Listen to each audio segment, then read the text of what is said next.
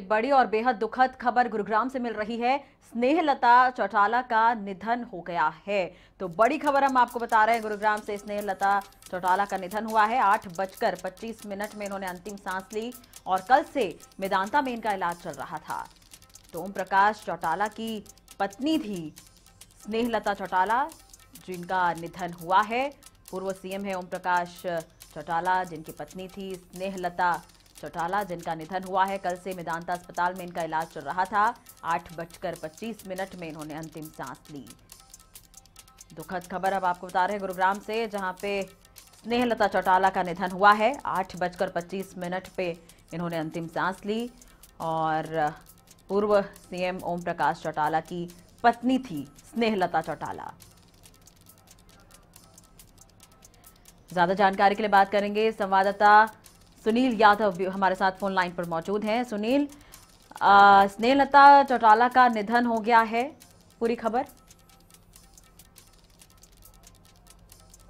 खबर है चौटाला परिवार के लिए हरियाणा में जो हम्म। उनके समर्थक है उनके लिए कि स्नेहलता चौटाला जो कि मेदांता में अस्पताल में गुरुग्राम में कल से भर्ती थी उन्होंने अभी कुछ देर पहले ही तकरीबन आठ बजकर पच्चीस मिनट पर अंतिम सांस ली है। उनको यहाँ पर भर्ती कराया गया था अस्पताल में। कल शाम जब उनको सांस लेने में काफ़ी तकलीफ़ हो रही थी और आज शाम तकरीबन तीन बजे के आसपास उन्हें वेंटिलेटर पर रखा गया था क्योंकि उनकी तबीयत बेहद नाजुक हो गई थी और तब से ही डॉक्टर उनको लगातार मॉनिटर कर रहे थे, कोशिश कर रहे थे उनकी ज़िंदगी बचाने की। लेकिन एक दुखद खबर हरियाणा के उन तमाम समर्थकों के लिए, चौटाला परिवार के लिए, जो चौटाला परिवार से जुड़े हुए हैं कि मेहनता चौटाला अब इस दुनिया में नहीं रही, उनका निधन मेदांता अस्पताल में हो गया है।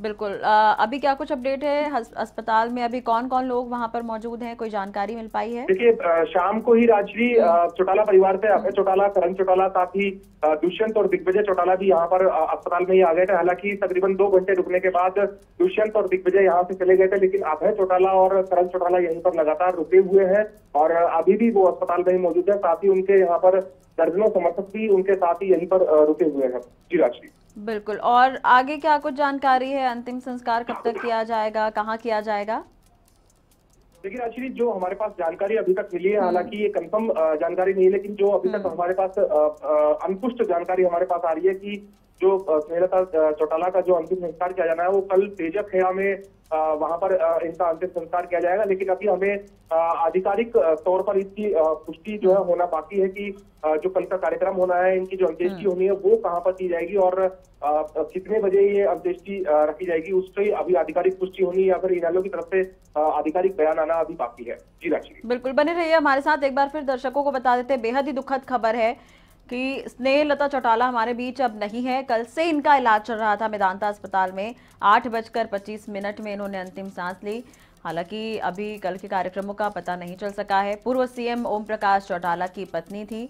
और कल से इनका इलाज चल रहा था। हालाँकि डॉक्टर्स ने मेडिकल बुलेटिन भी जारी नहीं किया था। बचाने की पूरी कोशिश डॉक्टर लगातार कर रहे थे, लेकिन बेहद ही दुखद खबर स्नेहलता चौटाला हमारे बीच नहीं है। इक्यासी साल की उम्र में इनका निधन हुआ है। बहुत बहुत शुक्रिया सुनील, तमाम जानकारी के लिए। अपडेट आपसे लेते रहेंगे, नज़र बनाए रखिएगा।